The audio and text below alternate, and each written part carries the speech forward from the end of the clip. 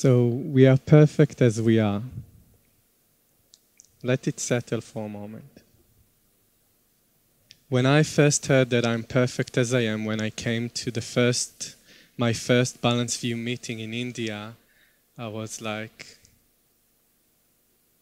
nah. I refused to believe that I'm perfect as I am. I refused. I refused and resisted, and I got really angry.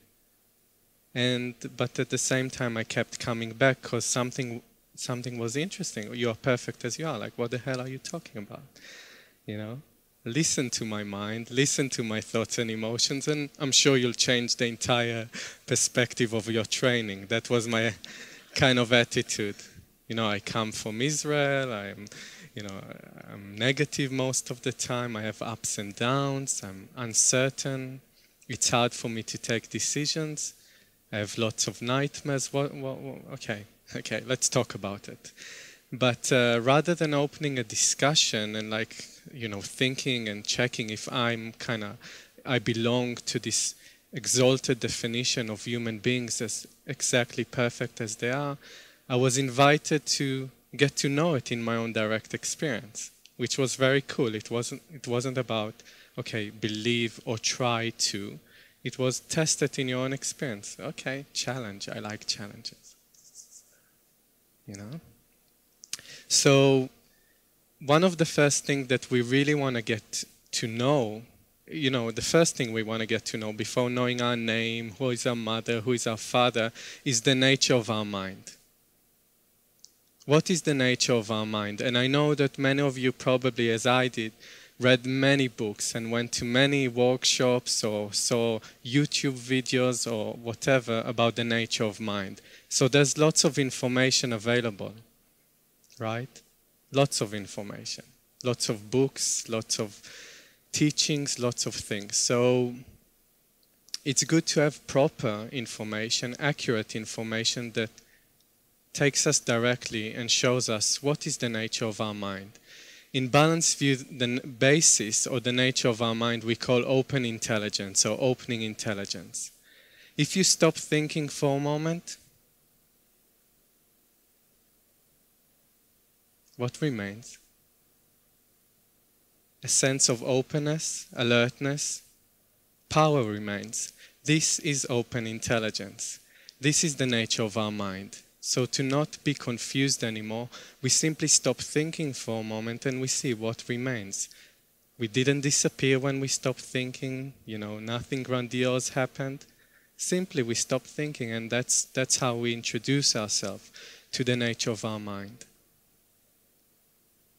To be assured in the nature of our mind, we need a simple practice and a support system. That that's what I need and that's what worked for me and for thousands of people around the world who are taking part in this movement of balanced view. So once we stop thinking, of course, all the thoughts come back, you know. Did I stop thinking? Was it for real? It wasn't special, it was amazing. I know it already. All the thoughts come, come, come back and, and that's just fine. That's, you know, that's the dynamic energy of our mind. So rather than trying to hold on to a moment of open intelligence, we simply take a short moment of opening intelligence, a short moment of instinctively recognizing, again, open intelligence. And by repeating it again and again, we get used to it, and open intelligence becomes obvious. Why? Just because. This is the way things actually are. So when we, when we meet reality face to face, then it's real and it's potent. Short moments are so simple, you know, before before meeting Balanced View and having my own ideas about the nature of mind, I tried really hard to be in a long, long, long, long, long, endless, timeless moment of something. Give it the best title you want, you know? I tried really hard, and I remember it's like punishing myself. I dragged myself to the room and I put myself and I said, Okay, you little flawed creature, if you don't get in this half an hour, one hour, 10 days, the nature of our mind, then again, you are so flawed. So every time, even if I reach somewhere in terms of a special state, there was a fallback. There was a falling down from this exalted state. What a torture, like sitting on this chair.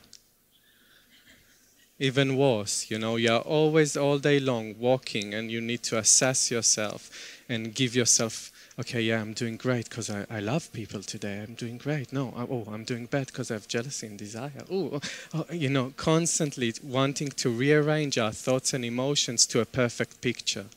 And who decided what is the perfect picture? Psychology, religion, um, your parents? Or is it up to you?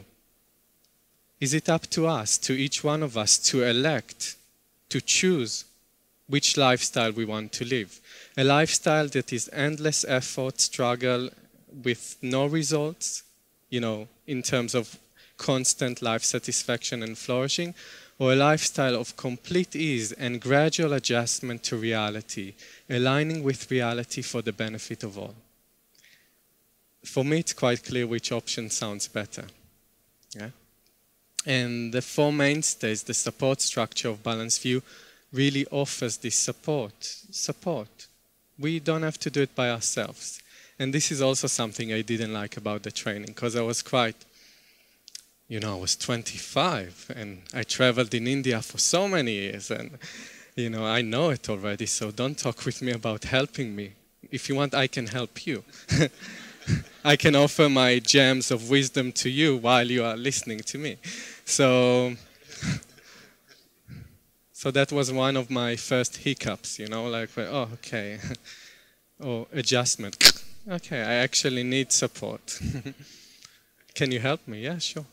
So the Balanced View offers 24-7 support. 24-7 support. It means that we are never alone, never isolated in our thoughts and emotions if we choose not to be isolated. You see, so again, it's up to us. We can be attracted to the message we are listening, to the people, to the great openness and welcoming, but it's then up to us to wait, uh, to choose for that, rather than wait, you know, like I remember going to places in India and I saw someone great. At least they appeared great, you know. They were a human being, they were great. And I was looking at them, oh, wow, never, it will never happen to me, right? I was just like so hopeless. And, but I tried hard and finding the Balanced View really gave me the answer and purpose for my life.